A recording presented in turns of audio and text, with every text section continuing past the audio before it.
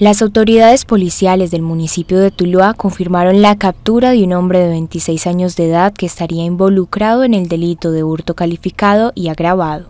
El operativo tuvo lugar en la carrera octava, avenida principal del corregimiento de Agua Clara, en momentos en que el grupo de la Policía Nacional llevó a cabo la captura del hombre quien habría sido solicitado por un juez de penas y medidas de Zipaquira, Cundinamarca, en varias ocasiones para cumplir condena. El capturado fue puesto a disposición de la autoridad competente.